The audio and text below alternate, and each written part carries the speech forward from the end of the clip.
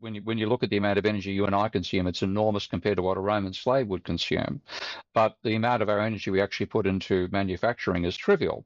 Whereas, of course, back in the Roman slaves' day, virtually all the energy they got in was the output they'd have to provide to the slave owner.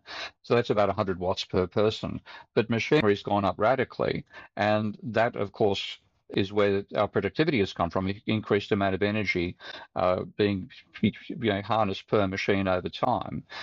But of course, that means waste.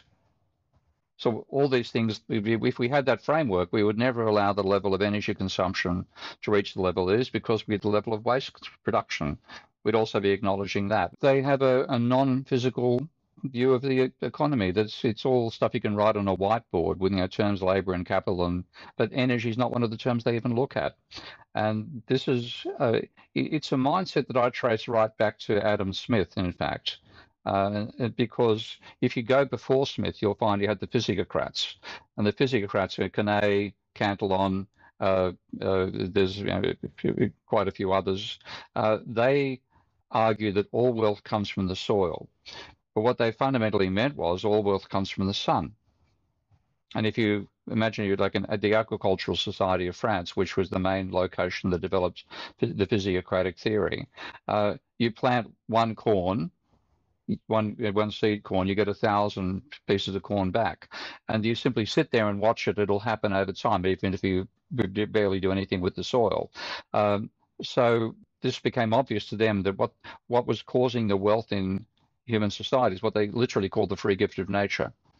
Now, in that sense, the free gift of nature, that predates the understanding we have of the laws of the conservation of energy. And they're aware of it. They're saying we're simply exploiting energy we find in the universe, turning it into useful work. Then along comes Smith and says, oh, no, they'd be living in Scotland, industrial, but, you know, hardly agricultural Scotland, he couldn't accept that land was the source of value. He said labor is the source of value.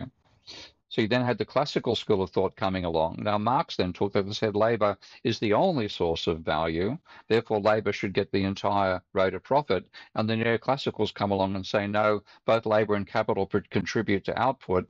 So there's a labor gets its marginal product and capital gets its marginal product, and that's all just.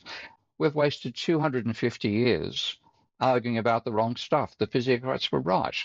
We only have an advanced economy because we exploit free energy and all we're paying is the cost of extraction and therefore those enormous differentials you mentioned earlier come about largely because as i said the, the, it became part of the ideology of the contest between workers and capitalists over the distribution of income.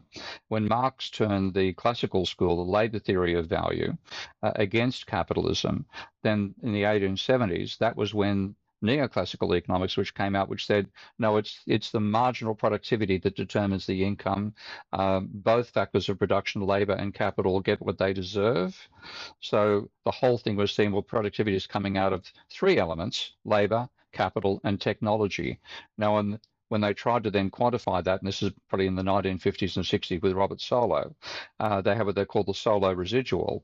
That when they looked at how change in GDP comes about, comes about, it had very little relationship to change in labour or change in capital. It all came of change in technology, and so this A term, which was undifferentiated, became the magic source that enabled growth to occur over time, and that was uh, if you asked economists about it, they say that's human ingenuity.